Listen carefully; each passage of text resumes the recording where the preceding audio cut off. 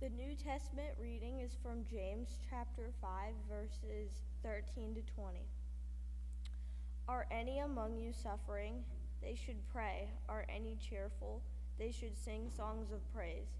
Are any among you sick? They should call for the elders of the church and have them pray over them, anointing them with, with oil in the name of the Lord. The prayer of faith will save the sick, and the Lord will raise them up, and anyone who has committed sins will be forgiven.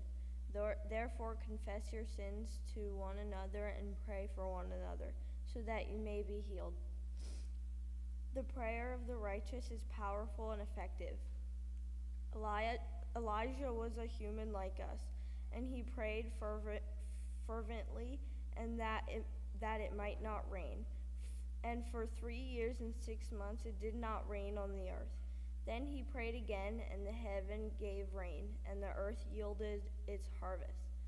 My brothers and sisters, if anyone among you wanders from the truth and is brought back by another, you should know that whoever brings back a sinner from wander from wandering will save the sinner's soul from death and will cover a multitude of sins. This is the word of God for the people of God. Thanks be to God. Well, we talk a lot about God's love for us uh, in church. We also talk a lot about how God is active, uh, force in the world. Um, one of the first songs I heard about that was He's got the whole world in His hand. You know, He's got the whole world in His hand. And we certainly talk a lot about prayer in church. You know, how do we do it? When do we do it? Why should we do it? And I just talked with the kids a little bit about that. Um, and I hope that was helpful. But today I would like you to really carefully consider the words of the author of James here and the spirit in which those words were offered. Now, on the surface, this passage is seemingly asking us to consider different reasons why we need to lift people in prayer, perhaps even ourselves. And James even says this that the prayer of a righteous person is powerful and effective. Let me tell you a story. Um, my mother was a woman who had a lot of reasons to feel that her life was out of her control.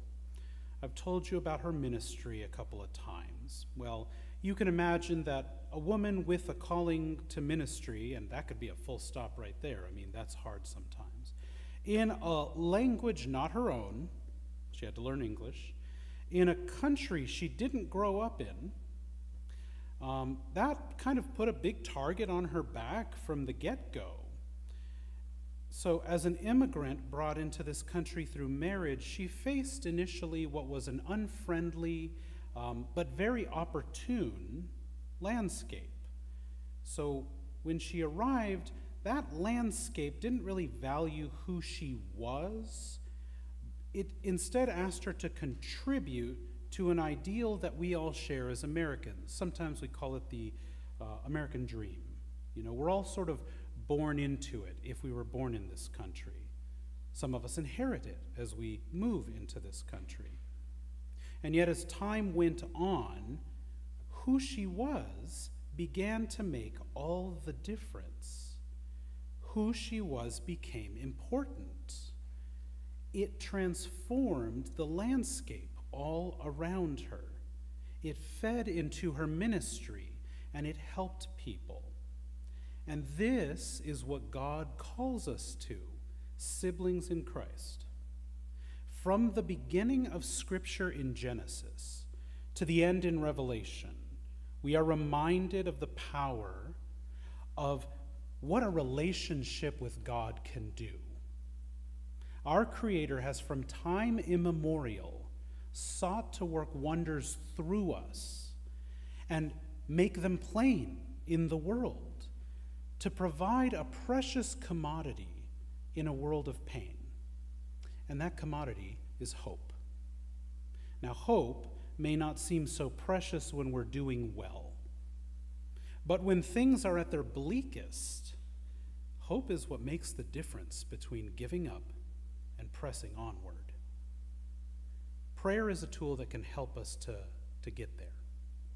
Now, it can seem futile, you know, even powerless.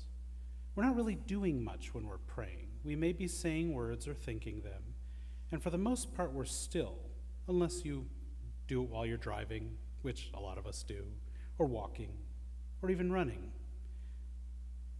But it isn't. It is not futile. It is not powerless. What's more, what James appears to be telling us here is that God wants us to pray, which can seem kind of odd considering what God is and what God knows. And I don't think God needs us to ask for help, right? But I do believe God wants an invitation. When we think about creation, and when I look at scriptures and what it says about creation, it seems to me that free will was such an integral part of the equation when God created everything for all of us that I think God yearns to be invited in. Sometimes the invitation can come too late. You know, events that yield the worst outcomes might already have been in motion. And in those moments when we grieve, I believe that God has already been grieving. And then there are these magical times where God is invited in at exactly the right time, when we open the doors of our hearts to the possibility. Some might call these magical times miracles.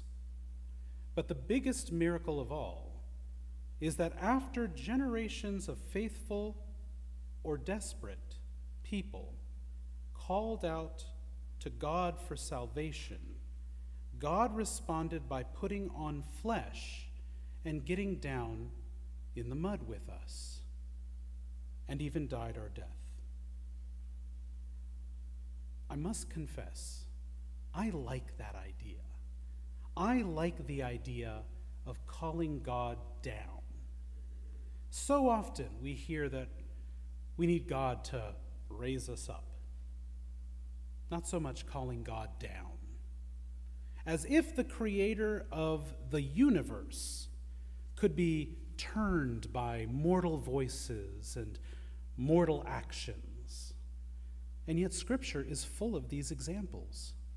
At a time when God sends a flood to destroy a creation that has turned evil, Noah builds a boat and humanity lives on through him.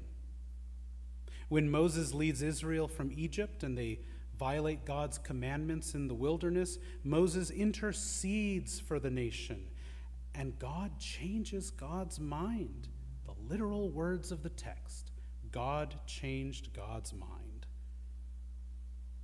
In Jonah, you know, Jonah and the whale, God is determined to destroy Nineveh, and Jonah's actions lead all of Nineveh to repent. So God changes God's mind again. I believe there is something about the sincerity of a human heart that God loves. It is the closest that we get to God when we're truthful, when our hearts and our minds are in sync, you know, nothing hidden, nothing held back, our truest selves. We are many of us practiced liars.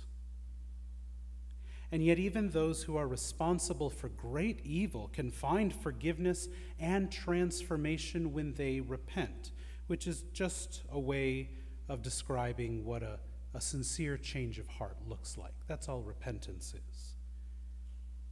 Not just transformation for themselves, though, but for the landscape and the people around them.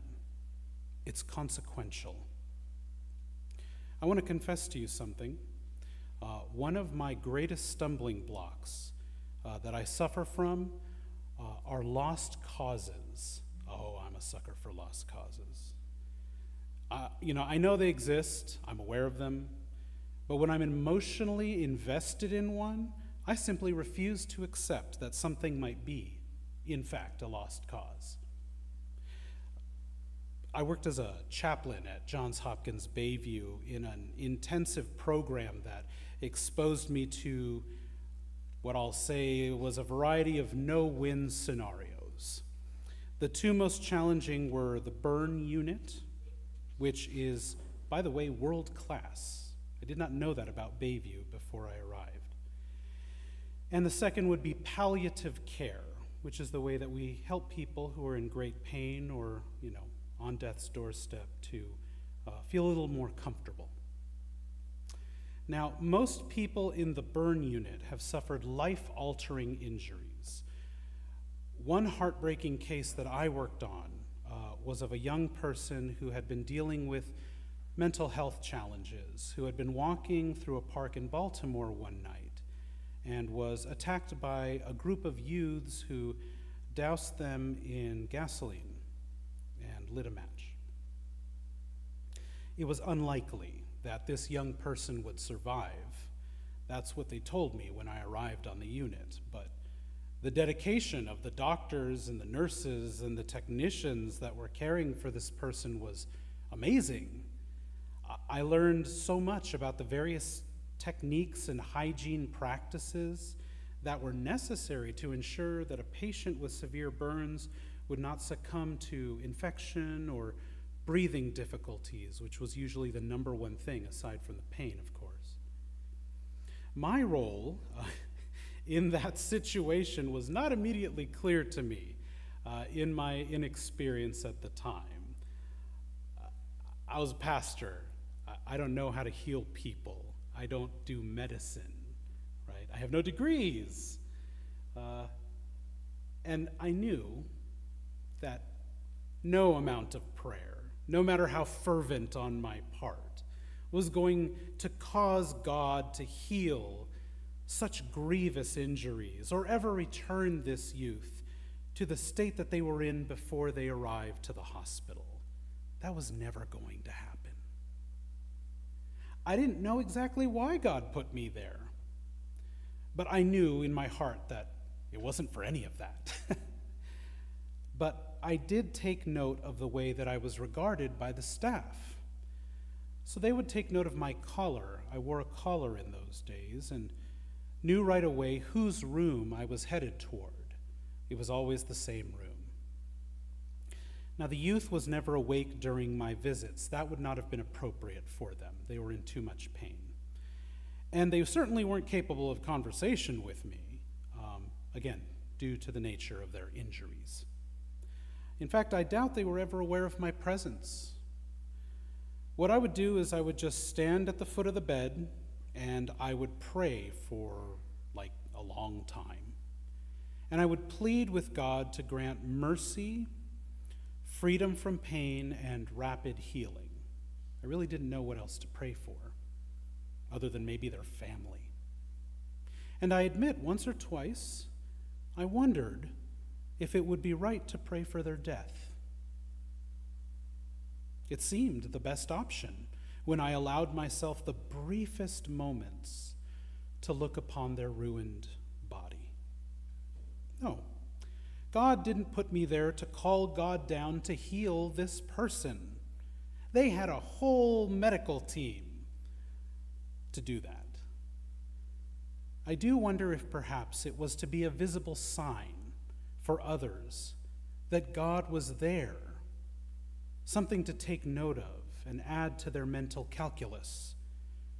A few nurses became accustomed to my presence, and one day the charge nurse asked if I would be willing to do a short prayer while I was on the unit with anyone who felt like they wanted it um, in their break room. Well, yeah, of course I did. That was like the one thing I felt I could do for them. Um, and I think, honestly, those gatherings did more for me uh, than I was doing for them because units like that can be very isolating. They're very quiet. It's really just about treatment. And it's very quiet at night. You know, the patients are provided with all the pain meds that make sleep possible. Now, you have to consider that when you pray, even when it seems futile, what you're doing may have consequences that reach far beyond the act that you are engaging in at that moment. You may not call God down in the manner that you thought was right, but that doesn't mean that God didn't come down. The role of hope in prayer cannot be understated. Hope is a gateway for change. Now, someone who has set their mind on the worst happening does not have hope.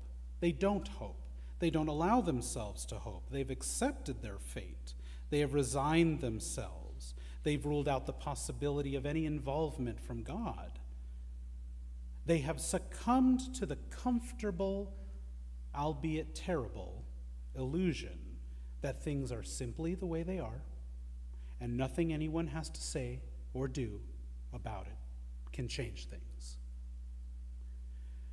But hope is something a person does when they want to leave the door open to the possibility that change can happen.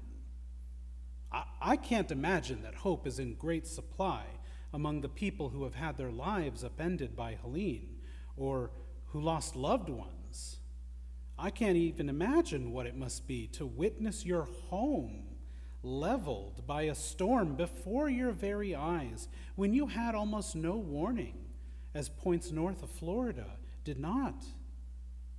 When perhaps only hours earlier you sat with your family eating something tasty, unconcerned even for just a moment with the troubles of the world. Thankfully, siblings in Christ, hope is not something that we are asked to supply for ourselves 100% of the time. The message of this morning's reading is that we should call upon the faithful around us to help us believe in hope, to believe that God can be called down.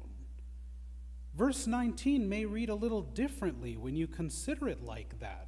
It said, My brothers and sisters, if one of you should wander from the truth, and someone should bring that person back, verse 20, remember this whoever turns a sinner from the error of their way, will save them from death and cover over a multitude of sins. To help someone find their hope again is doing exactly the same thing as what we've just heard. The mental energy needed to turn from a perspective of hopelessness to one of hope is enormous. I dare say could power cities it requires powerful examples of God's action in our, our world to supply that energy. If we're not there, it's not coming from inside. Now, sometimes some say that that can come from Scripture. You know, you crack open your Bible in a moment of crisis and you read the inspiration that you find there. That's, of course, if you're a person who's receptive to it, particularly in your situation the Spirit does grant us wisdom when we read our Bible, but in that moment it might not be enough. Sometimes the energy can come from the witness of faithful people who, through their words or their actions, inspire a hopeless person. Now, you will undoubtedly hear people say again and again that wishing people thoughts and prayers is a worthless act and believe me when I say that, you know, they, they are speaking the truth. They are. It's one thing to wish someone well, which is really what we're doing when we say that. It is entirely another to pray for them as James is teaching us here. No one is made more hopeful in a crisis when they are wished well. But, as the Savior did, for someone to get down in the muck with them and intercede for them with God, that's another matter. That's emotional commitment. Now, in the coming weeks, we will undoubtedly hear more stories of horror coming out of the southeastern states. We will see more stark imagery of towns wiped off the map or grim findings among the wreckage. I urge you to let those stories affect you. Let them trouble you. Those feelings are there for a reason. if only just to motivate us. You have been spared much of the devastation because, hey, you don't live down there. None of us do, you know? We don't have that point of relation. You may know people who do. Does anyone here know people who do? And you can be with them in spirit. But you are in a far better position to call God down than they are. You need to let them know that you're trying. We can build hope if we try. So I want to ask you, because hey, it seems to me a, the best possible place, really, to do this. I want to invite us to pray for them. Here, now.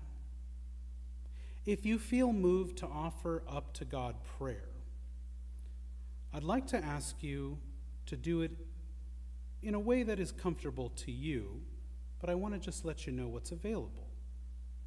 So, we consider the altar to be perhaps one of the holiest places in the sanctuary. We have it there for a reason, and there are rails that you might have noticed that we use for communion. Some of us like to kneel when we pray. What better place than before the altar? You can come forward and offer your prayers there. You could stand where you are if you feel like standing, or maybe it's more comfortable to sit and do it that way. Whatever way you think is best, let's do that. Let's pray to God. I'll allow some time for that to kind of happen, and then I'll move the service along. You know, that's my job. And I'll do my praying after joys and concerns. And you pray for as long as you wish, really. And as Scripture says, may God reckon it to you as righteousness, because you will have acknowledged that there is a Creator and a name under heaven to pray to. Glory be to God, and Amen. Please come forward as you feel led to do so, remain in your seats as you feel led to do so, and we'll take just a moment in prayer.